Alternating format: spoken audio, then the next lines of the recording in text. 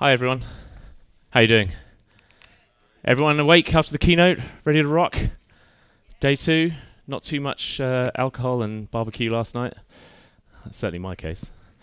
Um, hi everyone. My name's Dave. I work for these guys underscore, and I'm here to talk about uh, functional programming pattern a pattern which is really useful and ubiquitous, and uh, hopefully you will have all used it to some degree, or you will all know that you've used it by the end of the talk. And that's the interpreter pattern. So before I start, quick show of hands. Who has used the free monad in their code? Okay, great. So some folks, that's great. Uh, maybe 25% of people. Who has used tagless, finally tagless, final tagless? Okay, about the same number, about 25%. Okay, so for you people, you probably know everything that I'm about to talk about. So bad luck, sorry. Um, this talk is aimed at uh, uh, uh, people who don't know anything about interpreters and want to go from, from sort of zero upwards. Um, uh, and we'll get to the point where we've sort of justified what the free monad is and sort of why it exists. So, and a caveat: some of this stuff is stuff that I've researched for the first time for this talk. So, if I make any errors, please do point them out in the in the questions at the end. Um, oh, one last question: Who's who's used an interpreter? Who has written an interpreter in their in their code? Okay, so I would hope at least all the people who have who've, who've put their hands up for free monad and, and, and finally tagless also put their hands up there, but it's about the same number. Okay, so I'm sure um, you know we're all programmers. We spend most of our time working in general purpose programming languages like Scala. Uh, and the great thing about general purpose programming languages is you can do anything in them. And the bad thing about general purpose programming languages, you can do anything in them. And that makes it difficult to reason about your code. So we spend our lives working, building programs, and by programs I mean things that compute a result um, uh, in, in Scala. Um, and sometimes we get mud in, in, in implementation details and complexity um, because our language is so general. So the idea of the interpreter pattern is we shift from writing code in Scala to writing code in some DSL. We invent a domain-specific language, something that's really good at solving one type of problem that we have to solve again and again in our application. And then we shift to that. And because it's higher level and it's simpler, it's easier to code. But the problem is you can't just run a DSL, right? It doesn't have any, it's, it's just a high level thing. It doesn't have uh, any um, any runtime environment. So we have to provide that, and we have to split our programs into the sorry split our code base into programs written in the DSL and, inter and an interpreter to run the DSL. So if we perform this split, then the programs we're writing describe a computation we want to run. They don't on, on their own do anything. They're just a sort of a structure or a, a set of method calls that sit there and say, these are some steps I wish to perform and then the interpreter has all the low-level implementation detail to implement those steps. So the purpose of this talk is to uh, justify why this is a useful pattern and show you some different ways you can use it in your code base, and we'll talk about free and we'll talk about finally tagless.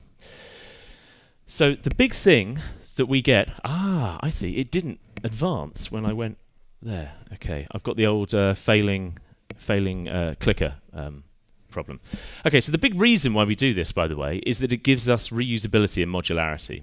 So from the interpreter's point of view, we spend all this time solving low-level technical issues in our interpreter, and then that gives us, uh, gives us the ability to reuse it again and again with programs. So all these programs in our DSL, easy to write, nice and high level, and we get to reuse that time we've invested in that interpreter. So that's one really good bit of reuse and modularity we get.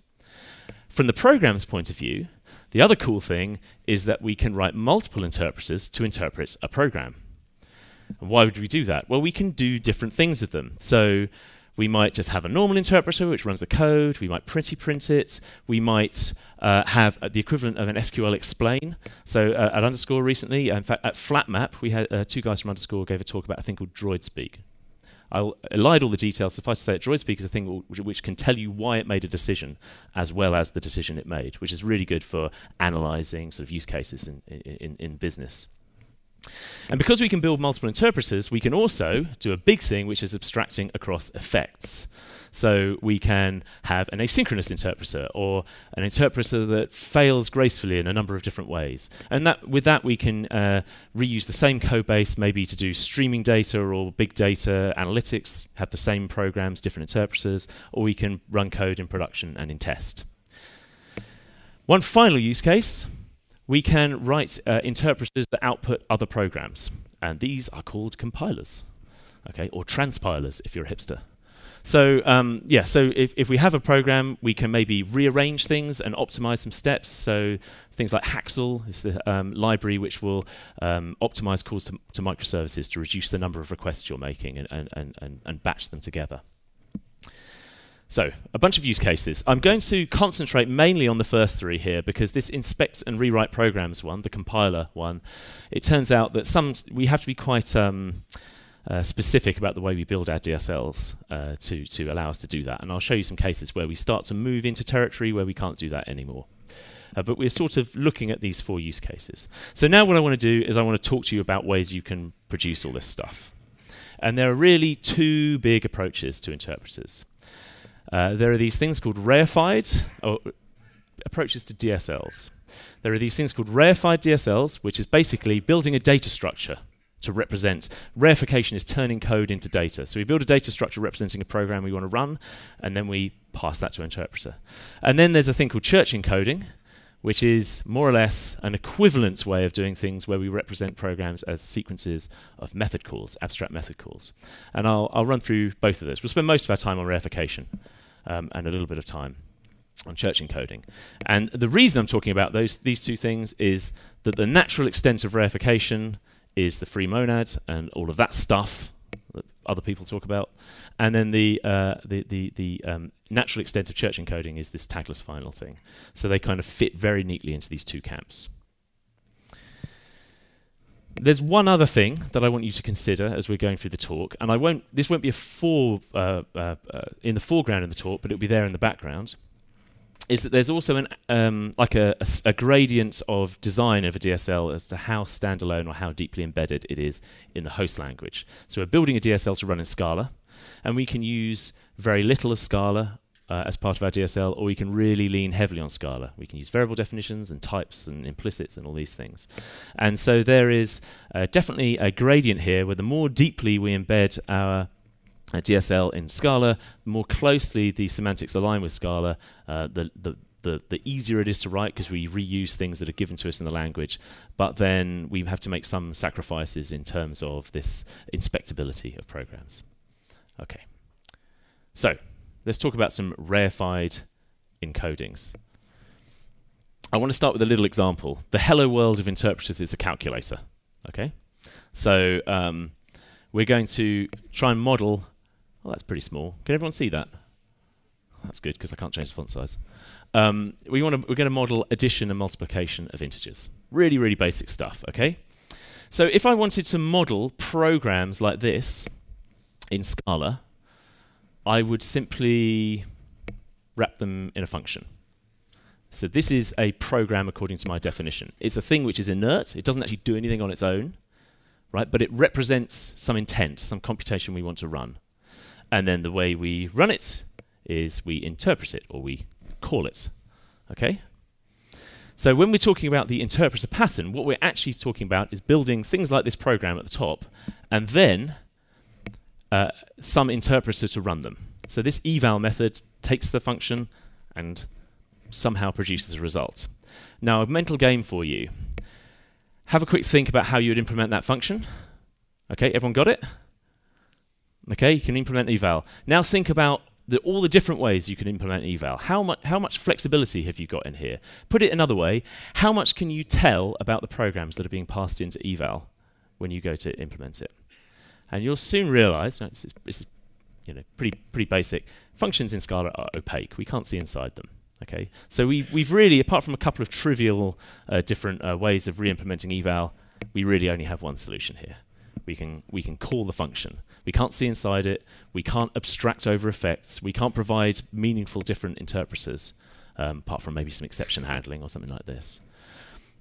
And so this code is great. It's fine for our use case, but it doesn't give us any flexibility. So let's rebuild that and give, uh, give us some flexibility.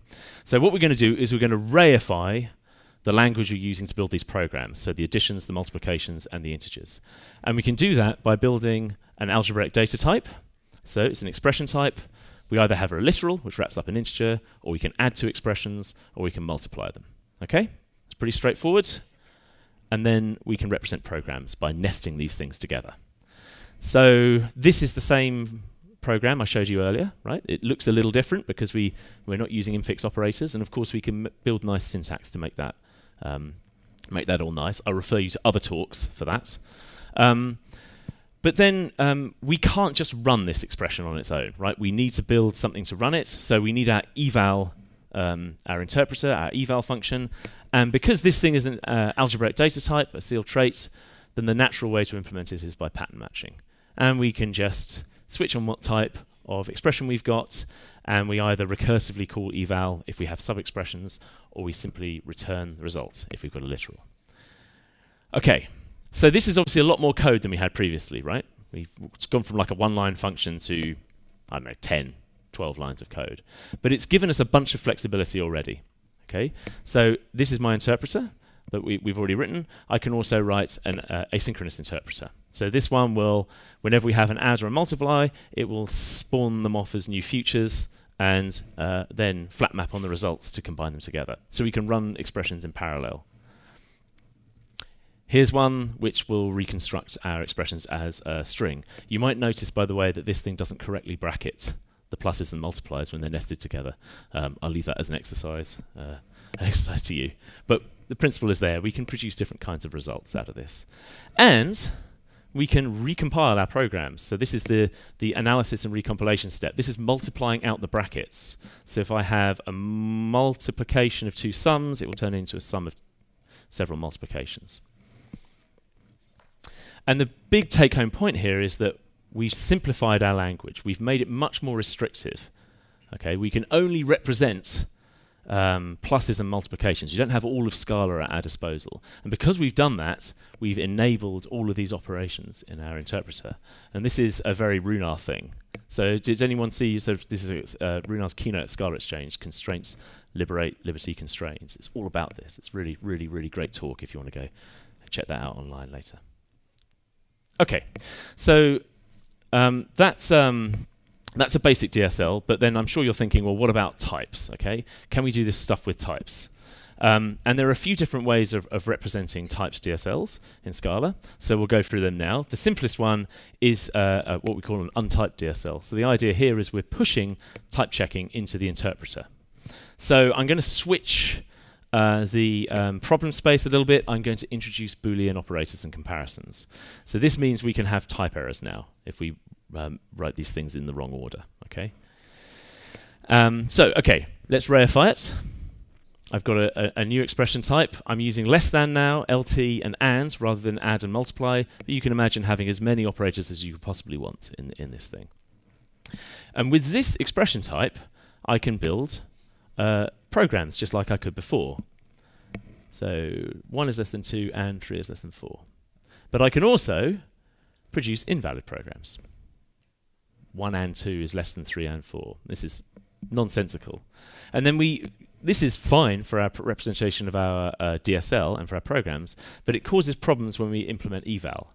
So now it's up to us as language designers to decide what to do, right? If we were JavaScript, we would just say anything goes. Like any operator in JavaScript will just work on any two things and throw caution to the wind. And you know, you can hear many people talking about the idiosyncratic qualities of JavaScript that stem from this decision. But it's trying to avoid runtime errors. But as Scala programmers, we're probably a bit, bit more principled. So we have to deal with a couple of problems in this interpreter. So one is we got an expression. What's it going to evaluate to? A boolean or an integer? We need to ha handle that somehow. And another is well, okay, well, I might be given an expression that has um, type errors in it. How am I going to handle those type errors? And then expanding things out a little bit, um, if I'm evaluating an expression and I have a sub-expression that's not the right type, how do I deal with that? Okay, so I'm sure many of you are screaming at me to use something here. Give me call call out. What am I gonna? What's my return type gonna look like on this? Did I hear an either? Hands up for either? Ah, good, excellent. Everyone's paying attention. So we can we can deal with these errors here by having an either. We just have some error type, whatever. So we can fail or we can succeed. Um, it, we can deal with this problem of like booleans or integers maybe by adding in an algebraic data type to represent the types we're going to compute, either an integer or a or a, a, a boolean. And then when we're dealing with the sub expressions here, we're going to have to deal with these eithers. So I've put some helper methods in here that I haven't introduced in the code. They would call eval, try to parse the thing as an integer or a boolean and fail or succeed, right? Okay, so what we've done here is we have um, we have a fairly high mismatch of semantics between our DSL and Scala. DSL is untyped, Scala is strongly typed. And because we've got that mismatch, we have to do all this work. Our interpreter becomes more complicated. So uh, and what's more, we can have programs that are just invalid and will never work. So um, there's a, there's a sensible question: is can we can we make this simpler? Can we make it more reliable? And of course, the answer is to add types into our DSL. So let's do that. Um, we start with our expression that we had before, and I'm just going to type every every term in this expression language. So an expression yields a result of type A, and we have a literal, which wraps up any value of type A, and less than will wrap up two expressions of an integer, and, and, and yield a boolean, and and will combine two booleans into a boolean. So just by doing this, we get a whole bunch for free. We can still write exactly the same code to represent our programs, the Scala compiler will, will check the, uh, the, the, result types and how they match together on less than an and. So it will say, this is a compiler error if I try to put an, a literal, which is an integer expression, inside an and, which expects a Boolean expression. So that's for free. And our interpreter now is back to being really trivial, right? We've got type safety in our language, and because we're using the same type system that Scala is using, there's no mismatch here, the, the Scala compiler can easily make sure we're doing all the right things in our eval. And, you know, we can do all the same things. Parallel execution, pretty printing, simplification, and so on. So the, the idea here is we're making our language closer to Scala. We're aligning it with Scala, and we're getting uh, a simpler uh, interpreter there. But I want to take a little bit of a moment here to talk about something else a, a, little side issue here, which actually kind of uh, makes things a little bit more interesting, and that's to do with ordering. Now we've built a really, really basic DSL here, and uh, have you noticed that it has an implicit ordering based in it? So when I'm evaluating a less than there, I evaluate the left-hand side and then the right-hand side. For this language, that's completely fine. Like it doesn't matter. It's all pure expressions. The ordering doesn't matter. But in a general, in general, we're building these interpreters to mask some kind of horrible thing, like mutable state or, or um, some other kind of effect. And sometimes, like side effects, sometimes this order is going to matter. So in most non-trivial DSLs, we want the programmer to choose that ordering for us. So there's a question here about how, can we build an explicit ordering into our DSL? Now, what functional programming construct do we use for ordering of things, to sequence things together? Monads, yes. So finally the M word arrives. And so we can do this by building in a monad. Okay, so we're going to make our DSL monadic, and um, uh, hopefully this is this is relatively straightforward.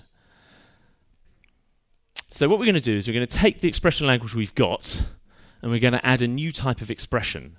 And this is going to be the expression that will do the sequencing. So this is a flat map expression. I've just named it after the flat map method because it's basically that thing. So a flat map expression basically pairs two other expressions together. We have an expression A, which will yield a value of A, and then we have a function which will take a value of A and yield an expression of B. So then if we were going to interpret this flat map, if we're going to run it, what we do is run it, run the first expression, take the value, pass it into the function, get back an expression, and run the second expression. Okay, and this is just like flat map in an option or flat map in a in a list. Okay. Now, one interesting thing is this flat map thing is now dealing with our ordering. So we can actually simplify less than an and. Notice that they're wrapping up other expressions. We have sub-expressions here. And the only reason we've done that is because that allows us to, to have some kind of implicit ordering in our language. You evaluate the sub-expressions, and then you compare them, or you evaluate the sub-expressions and you add them together.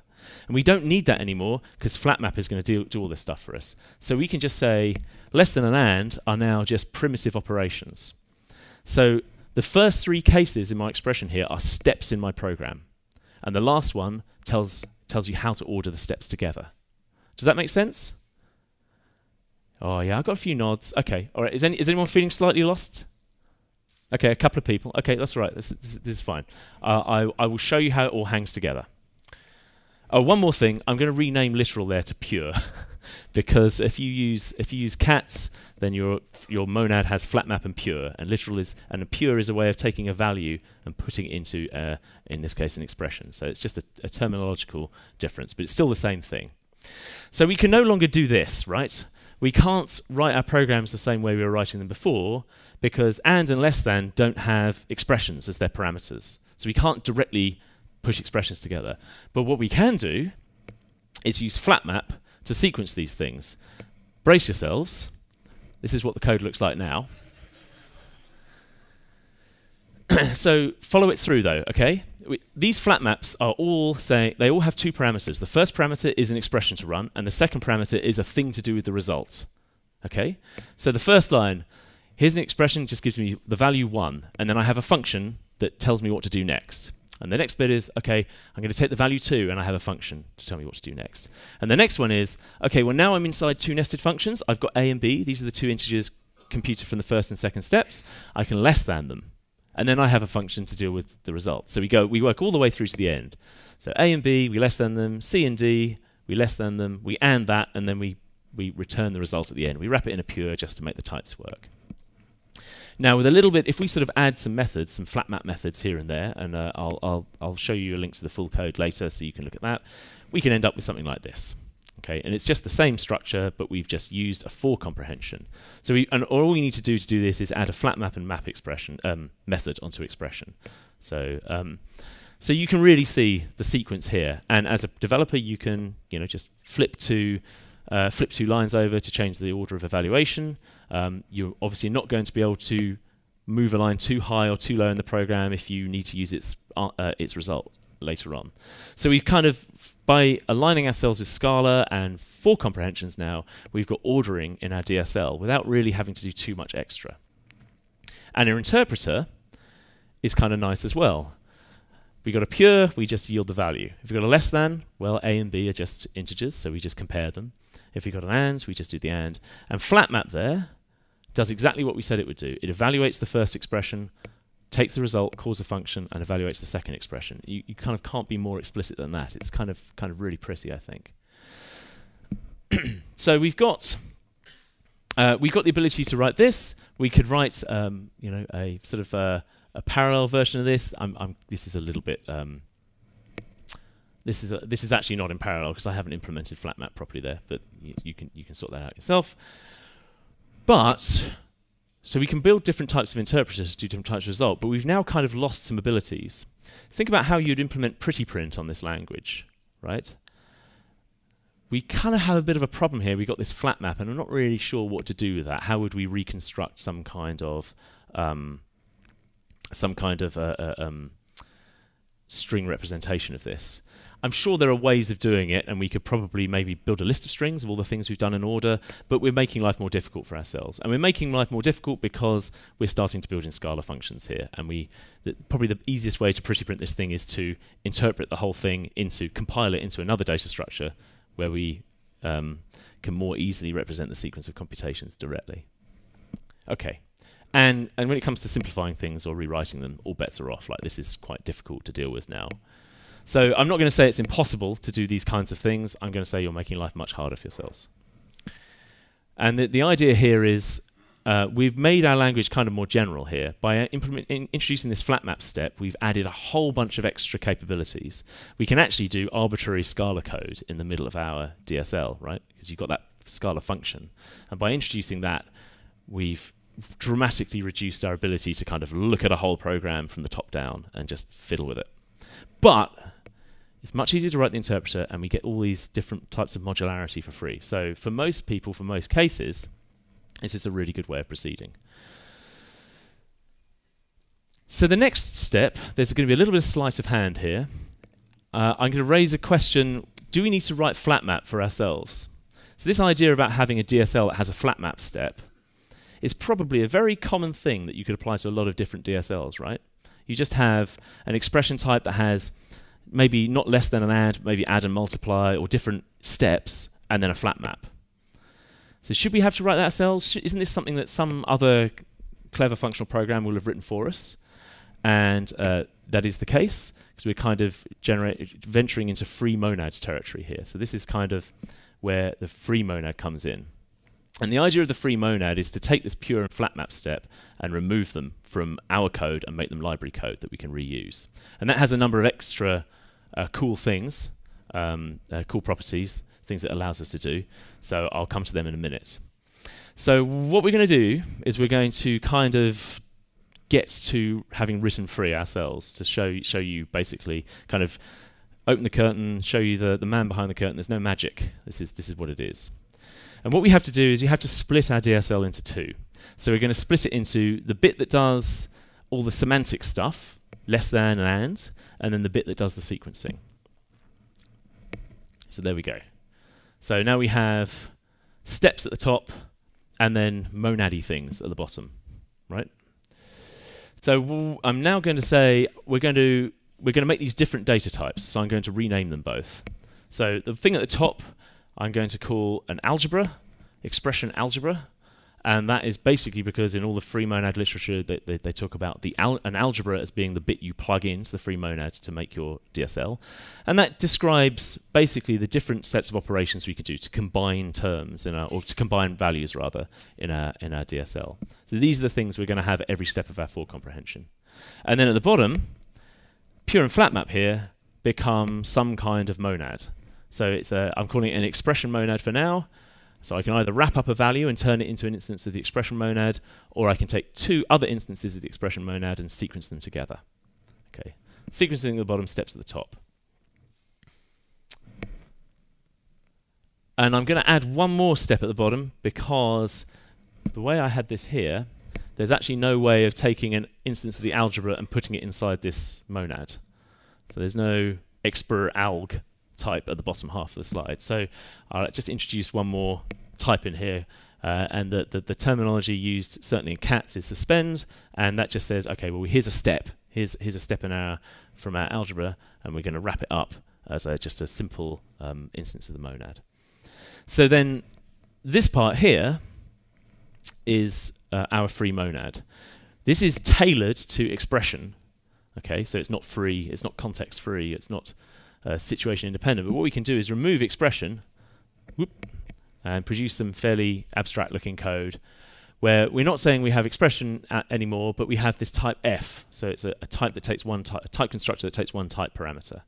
And that, if we go back, oh, if I go forwards, expression algebra takes one type parameter. So the idea is we can have a free of expression algebra, and that is basically what we had before.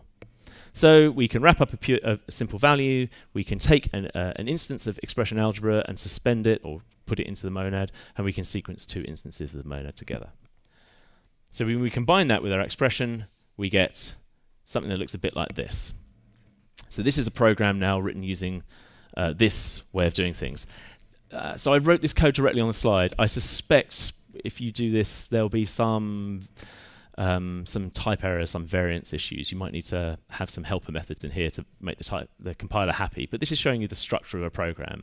So you see we've got this monad, flat map, flat map, flat map, flat map, pure, and at every step in there, we've either got just a value being introduced or we have a step wrapped in suspend. And it's still exactly the same program we had before, but this is just the minimal work we need to do to separate these two things out. And then we can take free from a library rather than having to implement it ourselves and you could kind of see it written like this.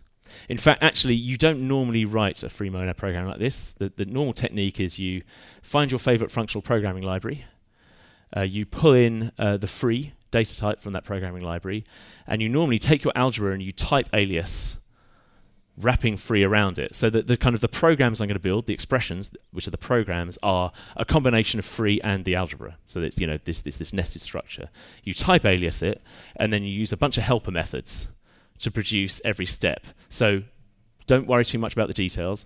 I've got a function here called literal, a function called lit, uh, less than, a function called and, and a function, oh, whoops, old version of the slides, a function called fail, which we're going to ignore from the next slide onwards.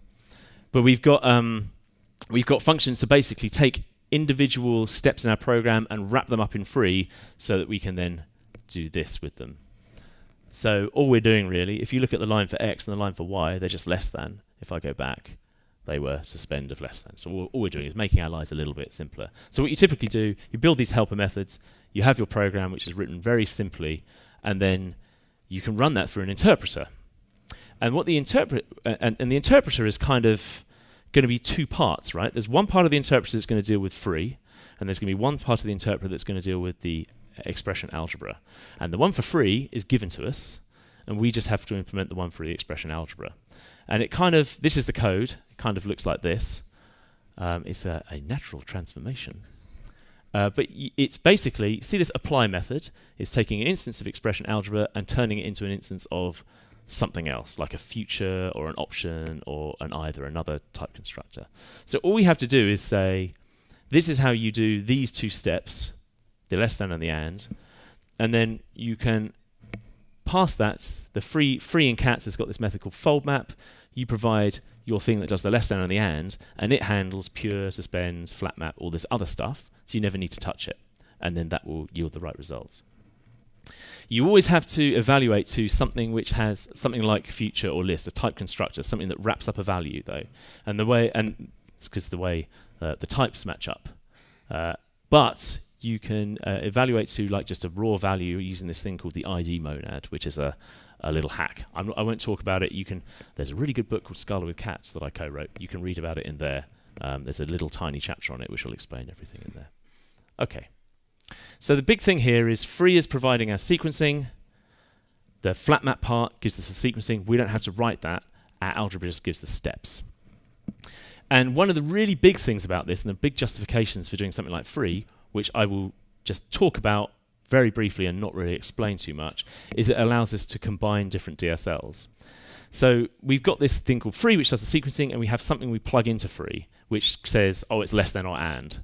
And we can easily add more terms onto that by combining things. So there's, a, for example, a type called EitherK in cats, which says, okay, I've got two different algebras, algebra 1 and algebra 2. Maybe algebra 1 is add and multiply, algebra 2 is less than an and, and I can just say, well, I can have a third algebra which is either algebra 1 or algebra 2.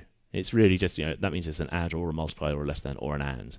And if I have that at every step in my program, then my flat map, my free uh, monad still works. If we had implemented flat map ourselves as part of our DSL, then and we try to combine two DSLs, then you have this problem about which flat map do you use at any given stage. Is it the one from the first DSL or the one from the second one DSL? But by factoring out the sequencing here, free gives us the sequencing uh, sequencing for everything, and we just plug in the steps.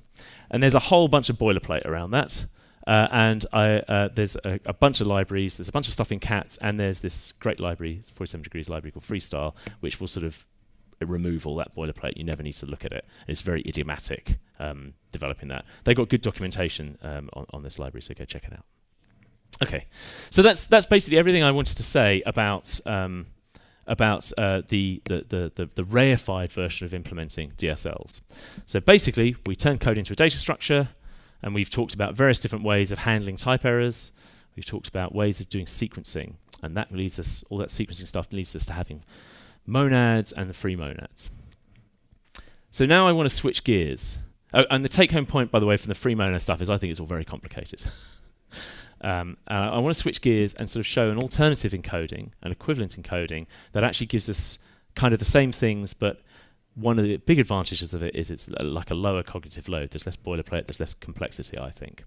So the idea of church encoding is that anything we can represent as a data structure, we can represent as a bunch of method calls, kind of. Um, so rather than encoding uh, programs as instances of a data structure, we're going to encode them as a bunch of abstract method calls, and then we're going to implement the methods and provide the, the details. So I'll give you two examples of this. The first one is just showing you how church encoding relates to what we just talked about. So if we have something like this, something like our expression, so I've just gone back to having a literal, a less than, an and. Okay, anything where I have this sort of sealed trait, this um, sum type, coproduct type, uh, sorry, sum type, uh, and you've got a set of possible subtypes, you can re-encode that as a set of method calls. So watch the board, boom.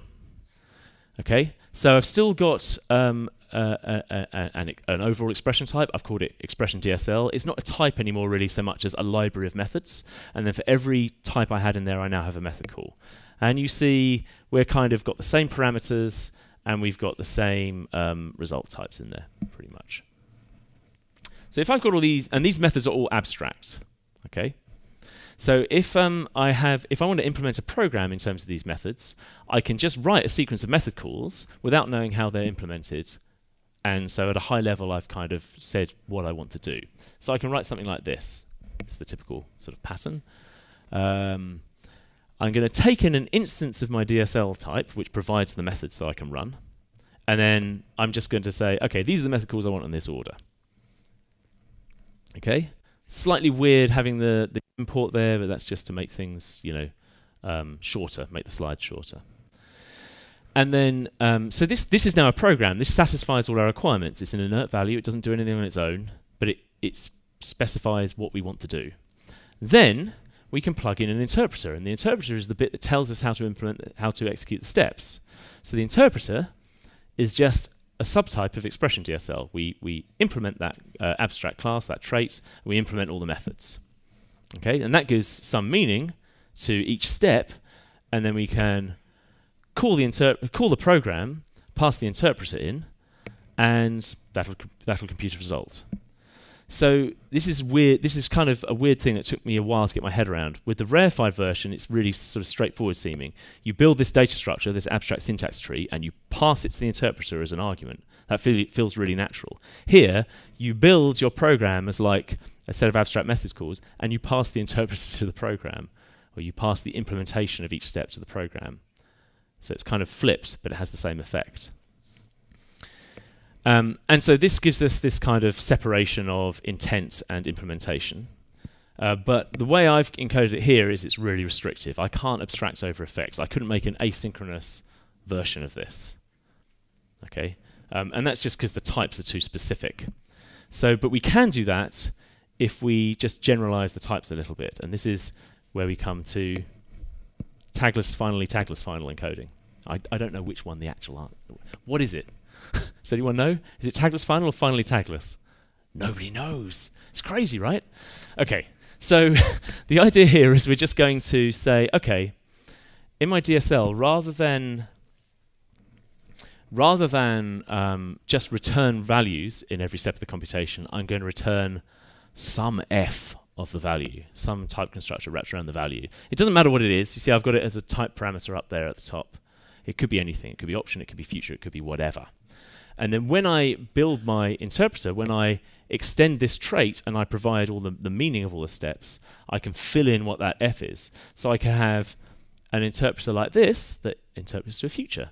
And okay, it's a trivial implementation. This is not a very good example. Um, but you can see that, okay, now I have one that works for future, and maybe now I have one works that that works for the ID monad. This, this is a bit of a weird one, but the, in principle, you can implement anything you want in there, any type constructor you want. And then in your and then the other thing is that um, a lot of these guys, I haven't um, introduced any any sequencing in here. I've got a rogue square bracket there. That's a bit weird. Um, but I haven't I haven't said how these things can be sequenced together. And the idea is that when you build one of these interpreters, you fill in a data type that has some kind of sequencing in it. So we can use a monad. So we can build a program which says, okay, I can run this sequence of steps for any DSL for of an f, where f is a monad. f has an instance of monad. So you import that. Uh, if you import monad and you import this cats.syntax.flatmap, then that gives you this flat map uh, method on, on f, whatever f is. So if I want to run it with future, I pass in my asynchronous interpreter. And so when I pass in async interpreter, that's an interpreter of future. So f gets bound to future, and then this whole thing operates as a future. And if I want to do it with the ID monad, I pass in the other interpreter. That says, oh, f is ID, and then this whole thing works in ID, and it works synchronously. And we can still combine DSLs with this approach, right? So if you want to build a program from two DSLs, you just have two parameters. You have to say, all right, I need them to be the same f, okay? So uh, if I'm dealing with future, I need to have an implement implementation of both DSLs that works with future. And that gives us the common flat map that we had we talked about earlier. You have the common flat map that was provided by free is now just says, okay, well, whatever f we've got, this monad instance here is going to give us this flat map. So the kind of the big thing here is this is a lot lighter weight way of doing things than with free, in my opinion. There's a lot less boilerplate. uh, it's a lot easier to understand, I think, as a, as a Scala uh, developer. It feels like sort of object-oriented programming, but kind of um, stamped out in this very neat pattern. Um, and um, I gather there are performance Im improvements on that, but I'm I'm not the right person to answer that. So I've got just a couple of minutes left. I'll, I'll, wrap up and take some questions. So the kind of the idea of this talk was to just talk about different ways of building this interpreter pattern. And the big thing is program interpreter result. That's the that's the thing. So whatever approach you use here, whether you do want something right at the beginning of the talk or something from right at the end of the talk, this uh, um, separation can yield you all of these really great benefits in terms of reuse. Uh, and it's, uh, in fact, the, the tagless final encoding I now basically use in every project. It's really, really, really handy. Um, we talked about two major ways of implementing these things. Reification church encoding, which you'll go with yield free and, and tagless final. I'll give you some references to read more about them in a minute. And as we went along, I kind of glossed over this towards the end, but the, the, the, the we have this sort of um, axis of like from um, if you've got like reification and church encoding as one axis in your design space, you have this sort of level of embedding as another axis in your design space. And really, it's how many things in your language do you want to model yourself versus how many do you want to just pull straight from Scala. The more you pull from Scala, the easier life is, but the, the less sort of inspectable your language becomes. Okay, so here are a couple of uh, good links. This one on Tagless Final is a, a, um, a London Scala user group talk by Chris Birchall. Um, it's on the Skills Matter website. This is an awesome talk where he describes Tagless Final and then implements a code base, like a fairly sophisticated code base, live in the talk. And it's really, really good. Uh, if you're interested in looking at the code, I've got this all on GitHub. There's a bunch of code samples um, that go go through all these different implementations in a lot of detail. There's also some notes, some kind of like like long form text, which I'm still working on, but I'm hoping to flesh that out a bit. So um, that's all I have. Thank you very much.